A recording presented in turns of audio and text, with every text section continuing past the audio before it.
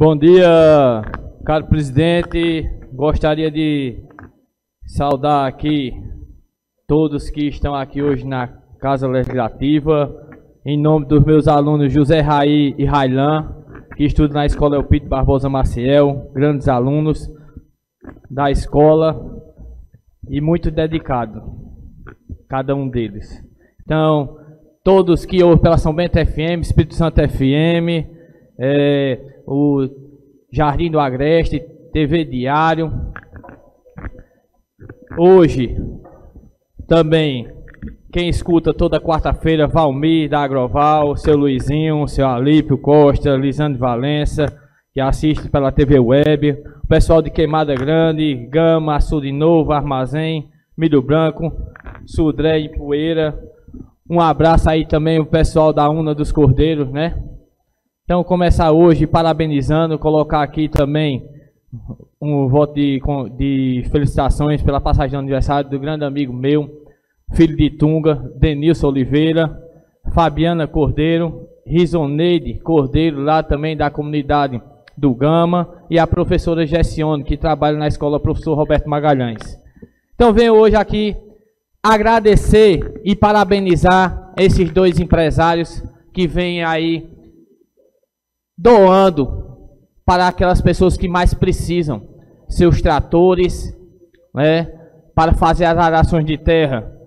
Quero agradecer aí a Valmir por ter liberado seu trator né, e ter feito as arações de terra junto com o grande amigo empresário José Almeida, que liberou aí. E juntos nós já fizemos quase 200 horas de aração de terra para aquelas pessoas que mais precisam nas comunidades de Poço Doce, Serrote, Segredo, Gama, Armazém, Açude Novo e Milho Branco. Então quero agradecer aí a esses dois empresários que liberaram e deram seu trator, o maquinista, né, o tratorista, o óleo que colocaram para fazer as arações de terra para essas famílias que precisam, principalmente agora na chuva que deu e tá lá o pessoal arando e continua arando. Tá lá no Gama, arando aí para várias pessoas que estão aí para é, melhorar a agricultura do nosso município. Então estão de parabéns e muito obrigado por ter feito e está fazendo, porque a gente escuta muito dizer que faz para todo mundo, pois lá, principalmente na região do Gama, fez para alguns e pulou várias pessoas. E por isso está lá o trator há mais de 15 dias arando terra naquela comunidade. E sim, arando para as pessoas que precisam. E precisavam, mas a prefeitura aí não chegou com o trator. E para algumas pessoas fez, duas, três pessoas no canto, duas, três pessoas no outro, e depois veio embora.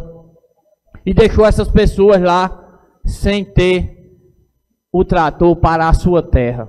Então, muito obrigado aí aos dois empresários que fiz essa solicitação a eles, pedi a eles para ajudar aquelas pessoas que mais precisam e eles prontamente entregaram seus tratores e fizeram aí as arações de terra com quase 200 horas nessas regiões.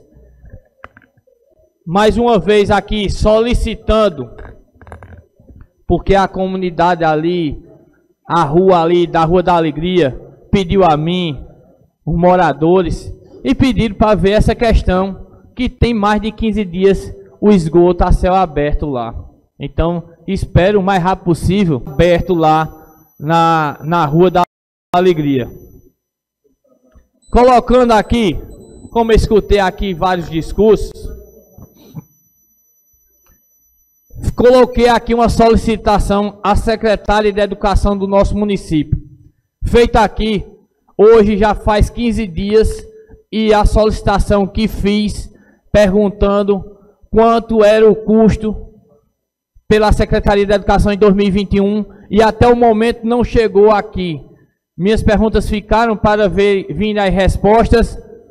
Presidente e até o momento não chegaram aqui as respostas, os ofícios com que indaguei a secretária de Educação. Então solicita agora aqui em plenário, mais uma vez, que venha a solicitação feita há 15 dias atrás na audiência que foi feito com ela, para a gente comparar os gastos de 2021 da Secretaria de Educação com os gastos de 2022. E como se falou aqui, não tem dinheiro para pagar? Tem sim. Tem sim. O nosso município vai receber aproximadamente 54 milhões do Fundeb. 54 milhões. Ano passado, até rateio teve. Por quê? Porque sobrou dinheiro e tinha que se cumprir, presidente, tinha que se cumprir uma meta. E por isso teve que haver o rateio para todos os funcionários da educação. Então, se o ano passado sobrou e esse ano vai chegar mais dinheiro ainda do que o ano passado, então tem dinheiro. Falta planejamento e organização. Falta planejamento e organização para se pagar o piso e a carreira dos profissionais de educação do nosso município.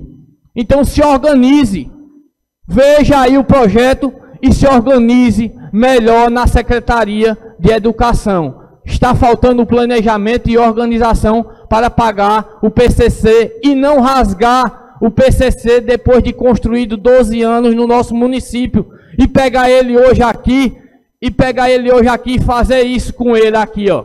Pegar ele e rasgar o PCC do profissional de educação do nosso município. Então espero que veja essa possibilidade de planejar melhor e se organizar melhor nas contas para poder fazer aí o repasse correto e adequado aos profissionais que tanto lutaram no nosso município para ter o plano de carros e carreiras e não tirar ele hoje, quando tem um aumento de 33,24 no piso e na carreira. Então tem uma grande organização e um planejamento melhor para fazer e mandar o projeto para essa casa legislativa, para ser uma comunidade daquele tamanho, daquele porte e faltando médico e aqui sim cobrando cobrando toda quarta-feira, porque tinha que sair da comunidade do Gama para vir até o hospital para ser que me antecedeu falou, mas eu vi na internet tinha que a internet ou o Zap tinha que agendar para ir no posto de saúde. Espero que se organize também essa parte, porque o médico precisa estar aí quatro dias atendendo a comunidade ou indo para outra comunidade atender né? mas não precisar de agendamento, e sim de presença do médico que vai ser contratado pelo município para atender aquela comunidade que é enorme e carente e precisa desse médico constantemente no posto de saúde lá. E com isso, também solicito mais uma vez, aqui está na pauta, solicito que o médico de Queimada Grande também juntamente com a secretária, organize, que já vai, vai fazer quase dois anos que não tem um atendimento ali na comunidade do Sudré.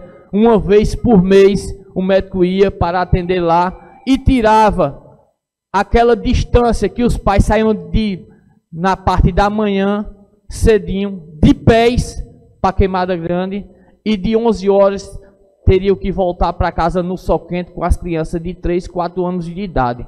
Então, peço que continue e faça aí valer o que já tinha sido feito há dois anos atrás, que o médico atendia aquela comunidade e que as mães e pais de família iam com suas crianças fazer o peso e era mais perto de sua casa e de sua residência.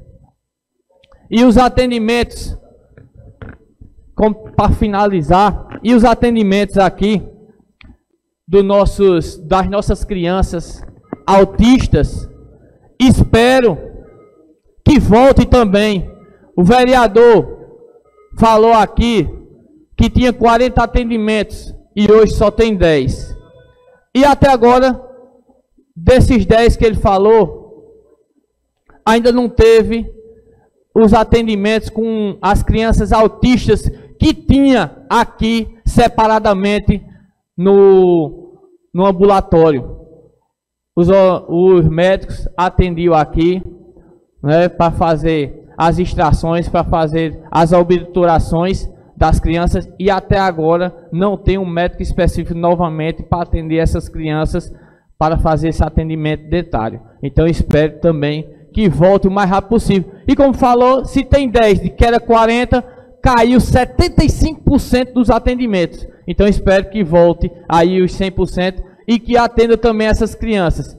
E esse projeto que esteja aqui comece a valer de verdade, porque tem outros projetos que a gente teve no nosso município que aprovamos aqui e até agora não saiu do papel. Muito obrigado, presidente.